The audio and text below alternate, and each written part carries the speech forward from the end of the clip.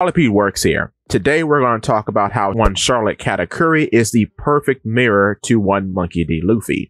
With that being said, if you do not recognize the name Charlotte Katakuri, please leave the video now because there are going to be spoilers ahead for Whole Cake Island, the latter half of Wano, and there could be a few for Egghead. So letting you know this now so people aren't barking at me in the comment section for not warning folks. I've warned you. So with that, let's continue. Nom, nom. Here's something that I notice on the topic of family relations and organizations that isn't really brought up when talking about Monkey D. Luffy and Charlotte Katakuri. Monkey D. Luffy was raised with two older brothers that aren't related to him by blood, but you know those brothers to be Sabo and Ace, right? Okay, Charlotte Katakuri, on the other hand, is a triplet. The closest brothers to him are Charlotte Oven and Charlotte Daifuku. What's weird about this is that Charlotte Katakuri essentially is what Luffy would be if Luffy was the oldest of the three when he was growing up and if he was the strongest because Charlotte Katakuri is on equal footing in terms of age with his two other brothers. However, he is the strongest of all of them, and he is the sweet commander, not them. The other sweet commanders are still his siblings, but they aren't the closest to him in relation. However, with Luffy, what's very funny about this is that when he was growing up with Sabo and Ace, he was dead last in terms of strength. He would lose every fight. What's also very interesting too, that's a kind of odd parallel is that both Luffy and Katakuri have the worst abilities out of their siblings. Charlotte Daifuku, you know, has the uh, Puff Puff fruit, and Charlotte Oven has the Heat Heat fruit. Charlotte Katakuri is stuck with becoming food. That's not a good power. He makes it work, which makes him very similar to Luffy, as Luffy has the Gum Gum fruit later to be revealed to be the best fruit, but something he still has to work at because, like I've said in many videos before, he essentially is a human that ate a human human fruit, which presents its own challenges. However, now, as we know with Sabo and Ace, they both were users of the Flame Flame Fruit, and Logias are usually just better in terms of raw power compared to any Paramecia or Zoan, right? So I would say from a starting angle, Ace and Sabo do have the better abilities in terms of Devil Fruit, and then Sabo's kind of ahead of the race in terms of all three of them because he focused on Haki.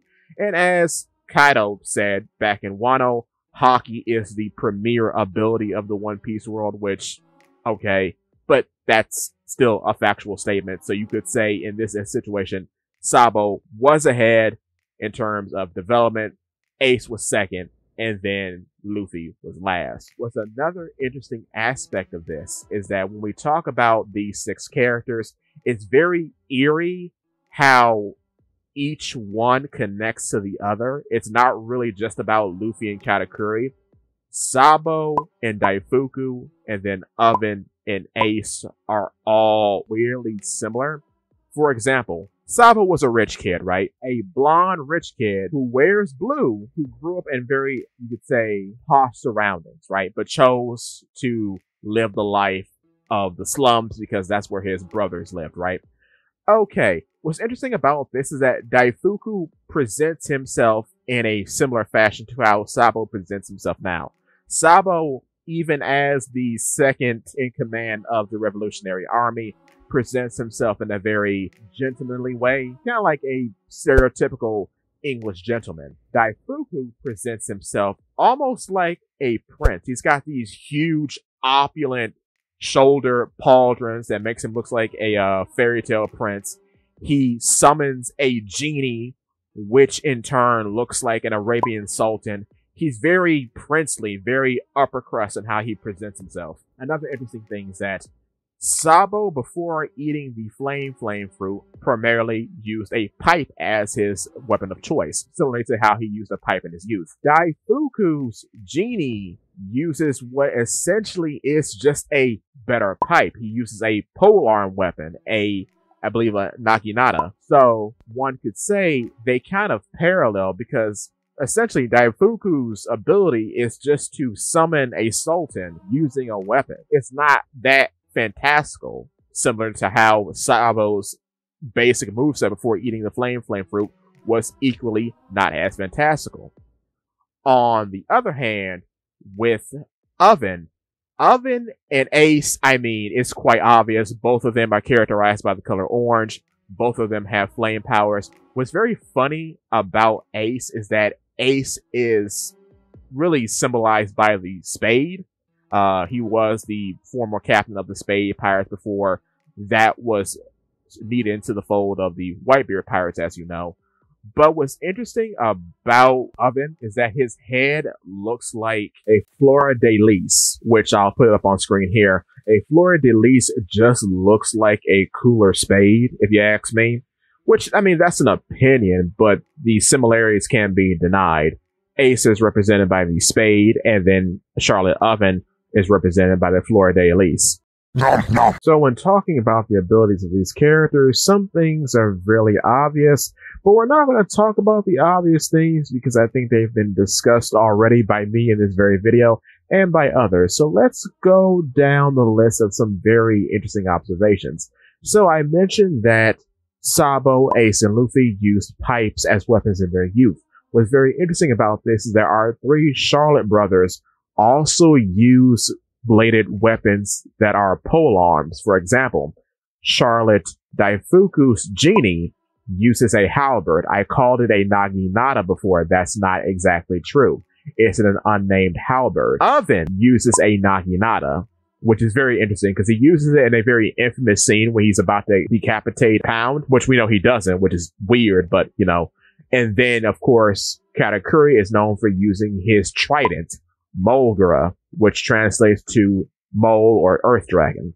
So all three of them used bladed pole arm weapons, whereas the three boys, uh, Sabo, Luffy, and Ace used blunt pole arm weapons in their youth, pipes.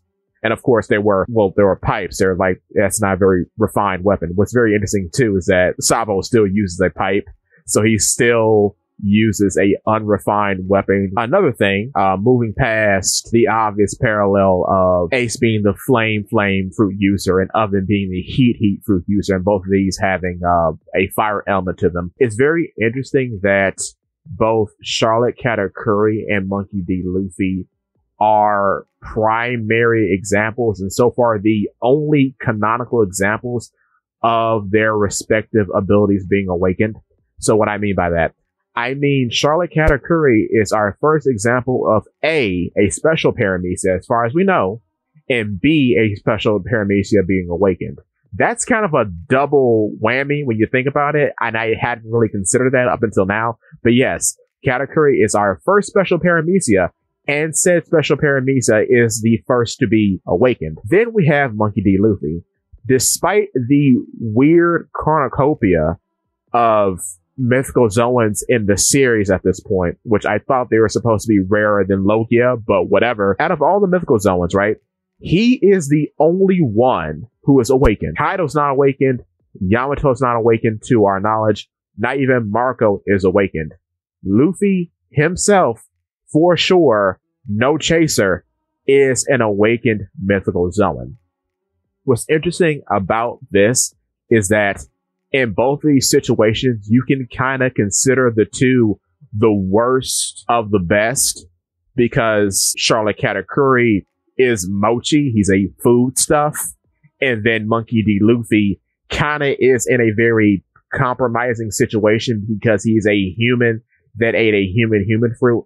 So in both situations, both characters had to work phenomenally hard in order to make their abilities worth any kind of salt because the cards were stacked against him. Monkey D. Luffy, for the majority of his journey, has just made do with the basics of what his power allowed him to do on top of utilizing Haki and his own creativity.